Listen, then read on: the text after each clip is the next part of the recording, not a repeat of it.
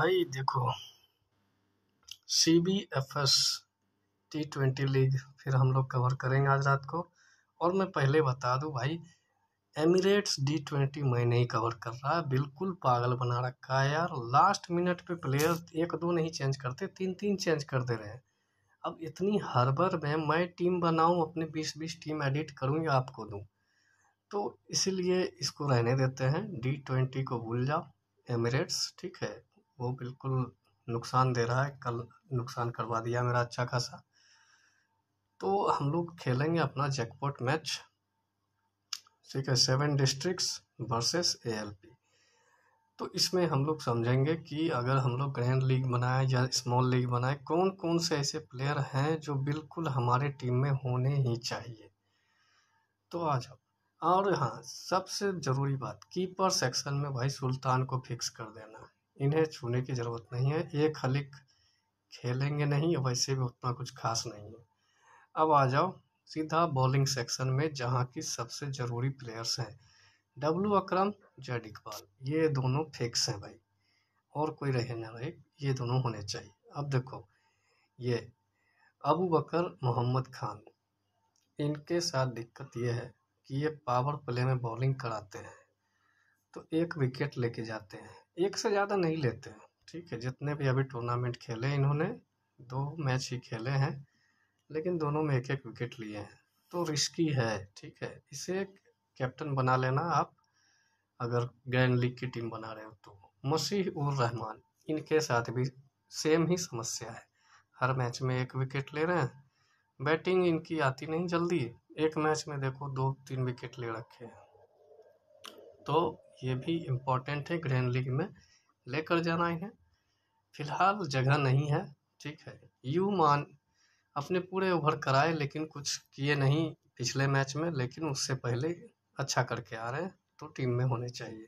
जे Shamsuddin batting order अच्छी है मतलब ऊपर उतरते हैं फ़र्स्ट सेकंड थर्ड में आ ही जाते हैं, ठीक है। और बॉलिंग भी अपना कराते हैं, लेकिन कल की मैच में इन्हें बॉलिंग नहीं मिला। पता नहीं क्यों नहीं मिला।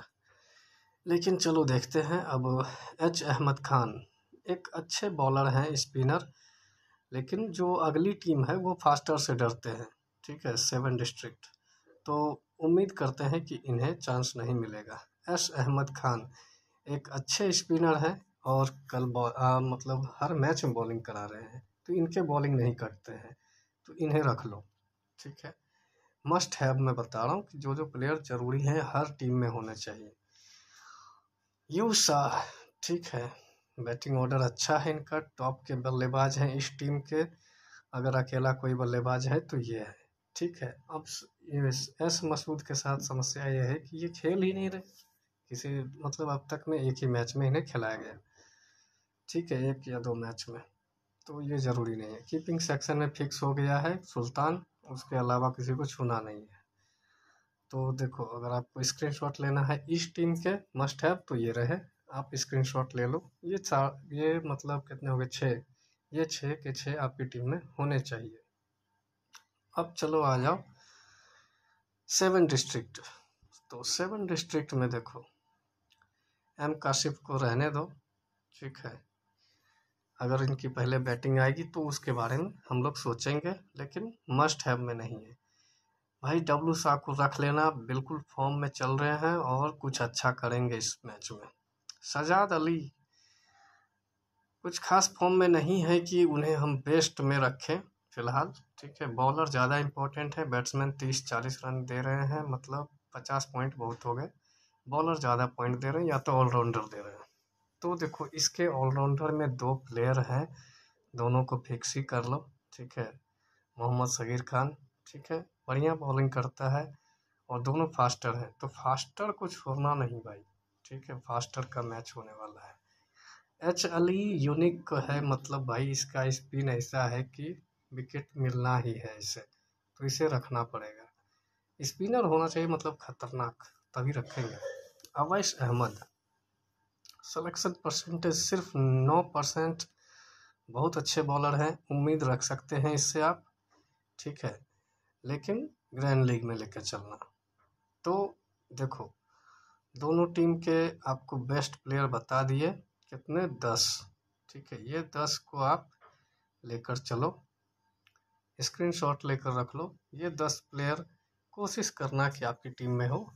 इसमें से अगर आपको किसी को हटाना हो तो जो चार ऑलराउंडर दिख रहे हैं, इन्हें मत छूना, ठीक है? आप चाहे तो बैटिंग सेक्शन, अगर आप ड्रीम एलेवन में बना रहे हो तो बैटिंग सेक्शन से डब्लू शाह को आप कम कर सकते हो, ठीक है? और किसी को आप नहीं कम करना।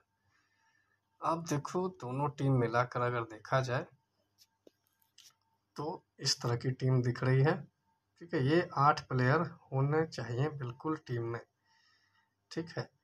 अब रही बात जो लास्ट के दो प्लेयर बच गए।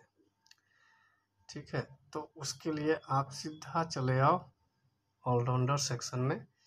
यहाँ पे आप चाहे तो एच अहमद खान को ले लो, ठीक है, और या तो बॉलिंग सेक्शन में आ जाओ मसीउर रहमान को ले लेना जेड नसीर को भी ले सकते हो। अच्छे बॉलर हैं। और एच अलमास या तो अवैश मोहम्मद।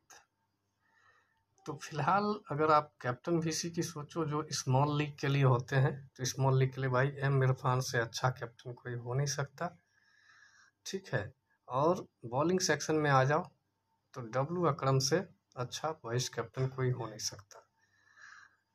लेकिन जो मेरा है, मेरा फेवरेट उस्मान मान, ठीक है, यू उजैर मान नाम इसका हाँ सॉरी उजैर मान बहुत ही अच्छे ऑलराउंडर हैं तो सेफ़ अगर जाना चाहते हो तो इसी के साथ जाओ उस उजैर मान के साथ।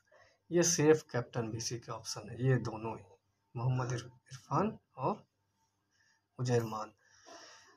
और आपको फाइनल टीम चाहिए तो व्हाट्सअप चैनल ज्वाइन करो, लिंक आपको डिस्क्रिप्शन में, कमेंट बॉक्स में मिल जाएगा, ज्वाइन कर लेना, ठीक है, अभी के लिए बाय।